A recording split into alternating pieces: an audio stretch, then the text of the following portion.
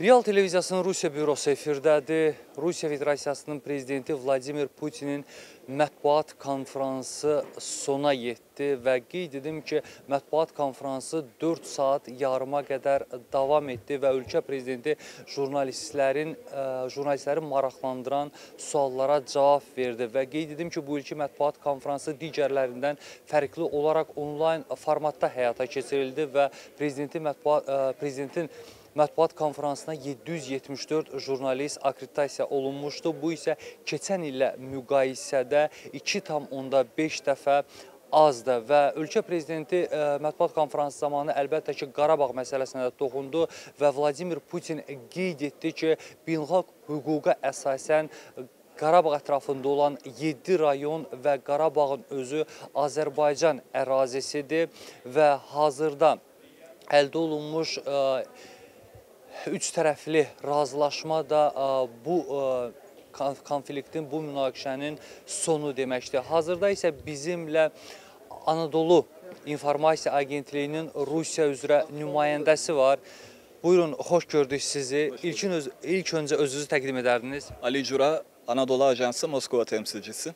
Əli bəy, ə, bu, bu ilki mətbuat konfransını necə qiymətləndirirsiniz? Yəni sual ə, vermə imkanı olmadı. Bəs sualınızı öyrənmək istəyirdik ki, hansı sual verərdiniz?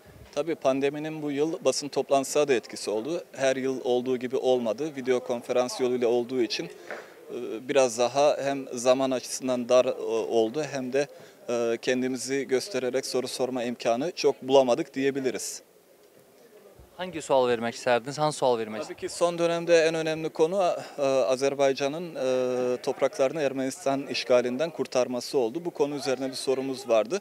Özellikle Türkiye'nin bu işgalin, e, bu, bu toprakların işgalden kurtarılmasındaki e, rolü ve Rusya'nın rolü üzerine bir sorumuz olacaktı ve özellikle de hatırlarsanız e, Cumhurbaşkanı Recep Tayyip Erdoğan kısa bir süre önce Cumhurbaşkanı, Azerbaycan Cumhurbaşkanı İlham Aliyev'le konuşmasında altılı platform konusunu dile getirmişti. Bu konuyu ele alacaklarını belirtmişti. Biz de Rusya'nın e, bu platformun içinde Rusya'da e, yer alması öngörülüyordu. Dolayısıyla da biz e, e, Rusya Devlet Başkanı Putin'e e, bu platforma Rusya'nın dahil olup olmayacağını sormak istiyorduk. Fakat nasip olmadı. Belki başka bir zaman sorabileceğiz.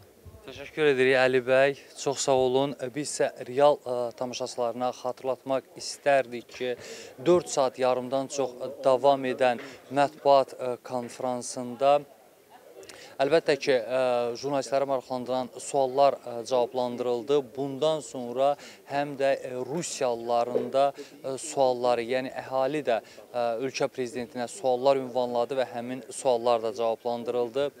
Bu saat olan məlumatlarımız bu qədər. Realda qalın. Ən son məlumatları bizdən alın.